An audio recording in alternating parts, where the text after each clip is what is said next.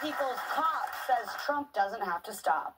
Victor Willis, the policeman in the Village People, is defending President Trump's usage of the song YMCA at his rallies. Willis wrote a long Facebook post saying that despite once asking Trump to stop using the song, he had a change of heart and realized that Trump genuinely liked YMCA and was having a lot of fun with it. He also pointed out that the song hit number one on the Billboard chart after 45 years, thanks to Trump. let's face it, without the YMCA, we would we have been given the gift that keeps on giving?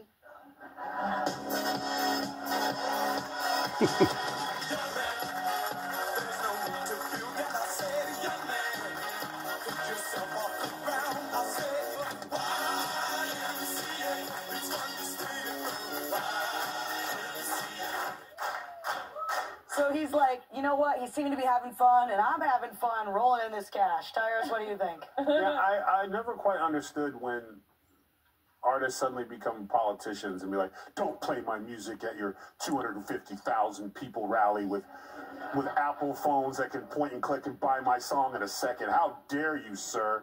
Uh, good for him uh, to come out and, and support it because it's it's really it should never really cross. If somebody wants to come out, and especially to the, the level of fame that, that President Trump has, you're going to make money. Not to mention the fact the YMCA is just the one song, even if you don't know the words to it, because I don't.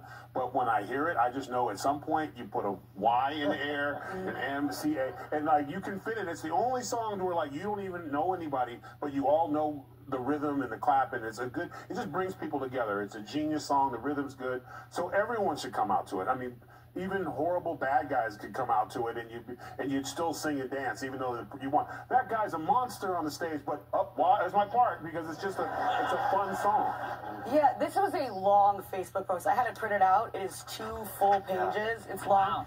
and the title of it is why I allowed President-elect Trump's continued use of YMCA and why the song is not really a gay anthem. so